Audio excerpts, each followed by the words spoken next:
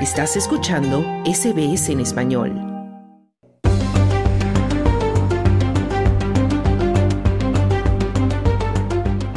Una nueva encuesta nacional ha revelado que más de la mitad de las trabajadoras migrantes entrevistadas han experimentado acoso sexual en el lugar de trabajo, pero que tenían miedo de denunciarlo.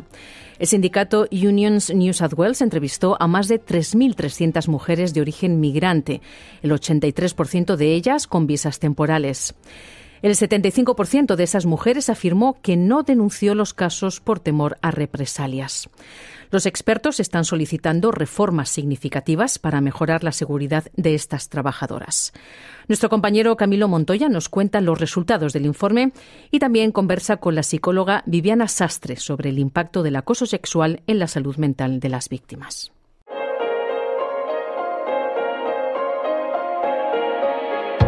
Un nuevo informe ha encontrado que el 51% de las trabajadoras migrantes a nivel nacional han experimentado acoso sexual en el trabajo en múltiples industrias. La tasa más alta se registró en la industria de la construcción, donde más de 4 de cada 5 o el 82% de las encuestadas reportaron acoso sexual en el lugar de trabajo. Esto fue seguido por el 53% en la industria hortícola, el 51% en hospitalidad, el 50% en comercio minorista y el 42% en el sector de limpieza. Unions New South Wales realizó la investigación durante un periodo de 12 meses, recopilando las historias de 3.388 mujeres en los últimos seis años, quienes tenían una visa temporal en ese momento. El informe fue presentado por la ministra federal de Medio Ambiente, Tania Plibersek, y la ministra de Mujeres de Nueva Gales del Sur, Jody Harrison. El estudio encontró que las mujeres con visas temporales creen que sus empleadores no están haciendo lo suficiente para protegerlas y un número significativo de mujeres abandonaron sus trabajos porque sentían que estaban en peligro. El secretario de Unions New South Wales, Mark Murray, afirma que la mayoría de estas mujeres no denunció el delito. 75% of those workers said to us who'd been sexually harassed that they didn't report it because there was a fear of losing their visa or having their visa cancelled. El 75% de las trabajadoras que han sido acosadas sexualmente nos dijeron que no lo denunciaron por temor a perder su visa o que se las cancelaran, o por miedo a quedarse sin trabajo. Por eso, el acoso sexual hacia las mujeres con visas está masivamente subregistrado. Lynn es una estudiante internacional de 19 años. Trabajaba en la industria de la hospitalidad. The owner of the business would scream at us and call us racist names among staff in front of the customers. El dueño del negocio nos gritaba y nos llamaba con nombres racistas frente al personal y los clientes. Llegó al punto de que los abusos y la explotación se normalizaron en ese lugar de trabajo, y los clientes se reían cuando el dueño nos trataba así. Lynn experimentó acoso sexual de manera rutinaria en el trabajo y dice que se convirtió en parte de sus tareas. En una ocasión, Lynn se acercó al dueño de la empresa para pedir más horas de trabajo. He responded to my request positively, promising me that he would help me with extra hours and extra shift. He asked me to come see him in the next morning so we can discuss. Él respondió positivamente a mi solicitud, prometiéndome que me daría más horas y turnos. Me pidió que lo visitara a la mañana siguiente para discutirlo. Estaba muy emocionada. Fui a verlo al día siguiente, y me ofreció sentarnos en un café cercano, lejos de su familia, para apoyarme mejor. Yo confié en él. Cuando subí al coche, lo primero que hizo fue agarrar mi cara y besarme en los labios. Lynn dice que se paralizó, sin estar segura de si se trataba de una diferencia cultural en ese momento. He'd start driving away.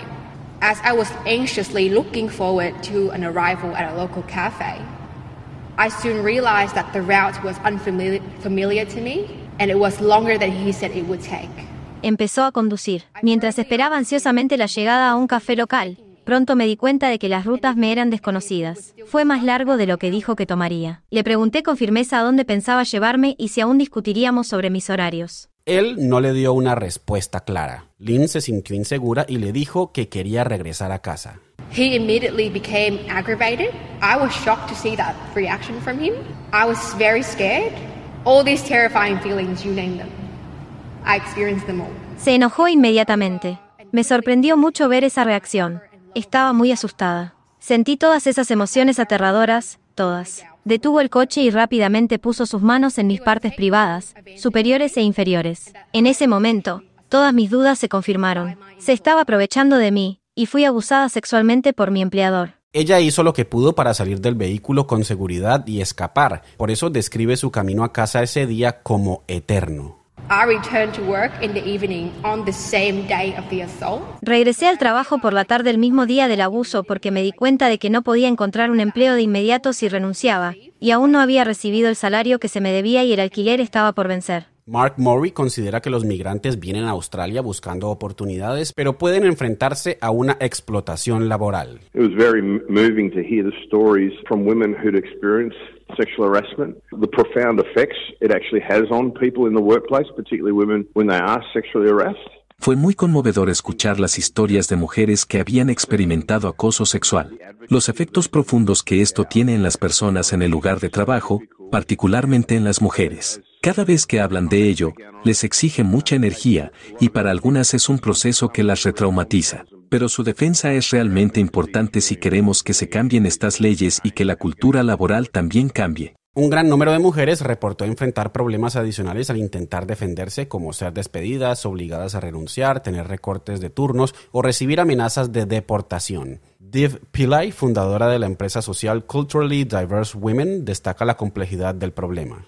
Culturally diverse women have worked very hard for their positions in workplaces, and if they are rising to that mid to senior level in workplaces, it's very difficult for them to think about identifying themselves. Las mujeres culturalmente diversas han trabajado muy duro por sus posiciones en los lugares de trabajo, y si están ascendiendo a niveles medios o altos, les resulta muy difícil identificarse públicamente por temor a limitar sus carreras o por la inseguridad laboral que podría provocar como represalia. Pillay dice que muchas migrantes tienen personas que dependen de sus ingresos. Children, older parents, um, people who are back in home countries that are reliant on um, the income that's earned. Hijos, padres mayores, personas en sus países de origen que dependen de los ingresos que ganan las mujeres migrantes en los lugares de trabajo australianos. Esto se convierte en un tema muy complejo, ya que pone en riesgo toda esa seguridad financiera. Ella agrega que el racismo puede agravar la situación. We have a lot of people who are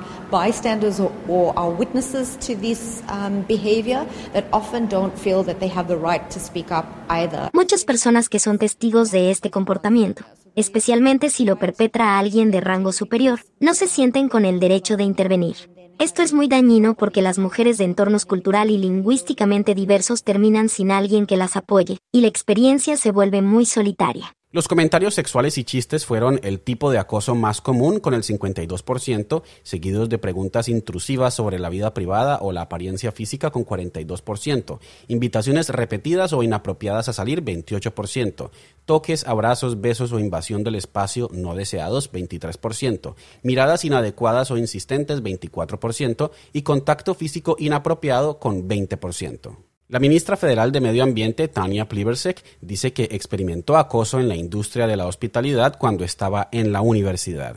I wish we could say this was an issue in history that we look back on with, um, with horror.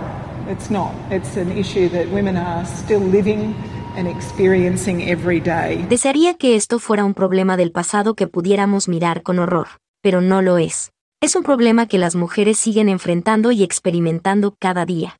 Plibersek asegura que el gobierno ofrecerá apoyo y protección de visas para las migrantes que deseen tomar acciones contra sus empleadores, sin costo de solicitud y con derecho a permanecer en el país mientras se lleve a cabo el proceso. Mark Morris subraya la importancia del apoyo adecuado. The biggest priority, firstly for us, is ensuring that there are avenues that are culturally appropriate for women who are on visas to be able to report the harassment that they are experiencing at work.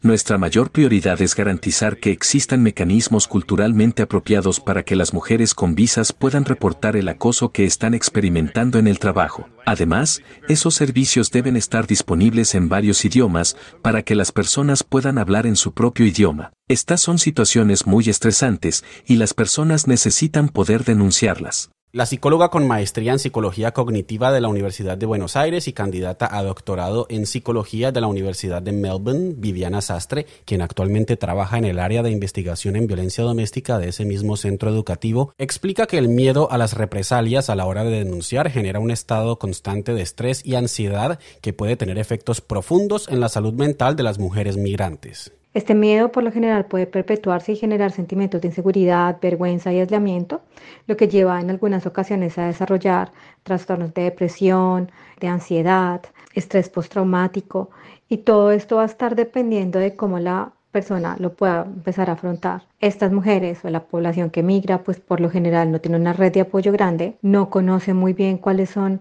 estos sistemas que pueden llegar a favorecer para que se sientan escuchados o para que se sientan atendidos. hay un desconocimiento de toda esta, no solamente apoyo a nivel social, sino también gubernamental, lo cual incrementa más la sensación de aislamiento y vulnerabilidad. La experta colombiana en salud mental considera que una de las mayores barreras de acceso que enfrentan las mujeres para denunciar casos y acceder a servicios de ayuda es la lingüística.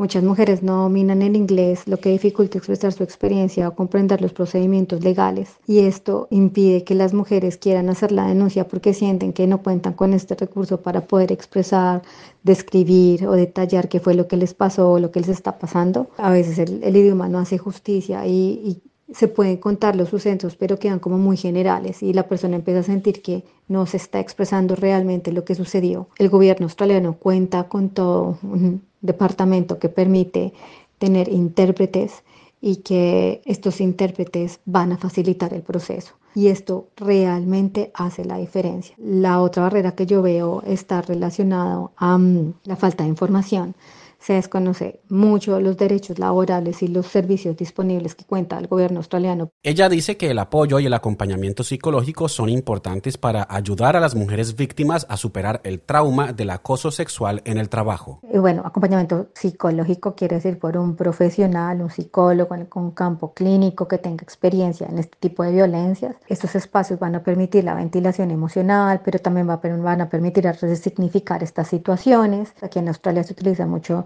la terapia cognitivo-conductual, generar espacios donde la persona se sienta que puede llegar a contar y hacer ventilación emocional, pero no solamente la ventilación emocional, sino que tenga recursos para afrontar esta situación y para prepararlo para situaciones futuras si se llegan a presentar. El segundo, grupos de apoyo, espacios donde las mujeres pueden compartir experiencias con otras que han vivido situaciones similares, permite ver que otras personas que han sentido, que han vivido situaciones muy similares o iguales, han podido utilizar estrategias que les han funcionado a ellas. Por último, la psicóloga Viviana Sastre señala que son varias las medidas que pueden implementarse a niveles gubernamental, social y legal para proteger a las trabajadoras migrantes y fomentar la denuncia de los casos. Garantizar que las mujeres migrantes con visas temporales puedan reportar acoso sexual sin temor a represalias migratorias, que esto no va a generar ni va a afectar en ningún momento su condición de visa. Financiar programas de sensibilización y formación para empleadores y trabajadores sobre el acoso sexual y los derechos laborales. Esto pasa en algunas empresas, sobre todo las más reconocidas y grandes,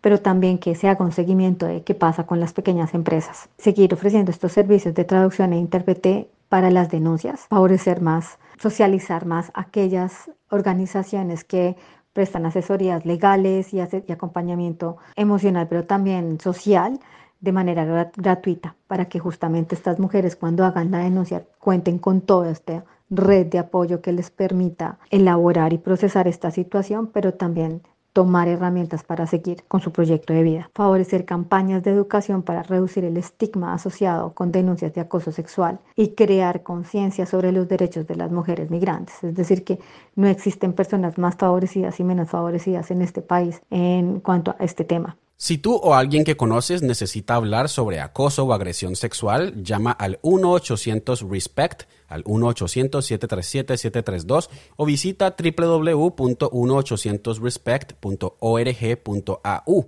En caso de emergencia, llama a la línea 000. ¿Quieres escuchar más historias como esta? Descárgatelas en Apple Podcasts Google Podcasts, Spotify o en tu plataforma de podcast favorita.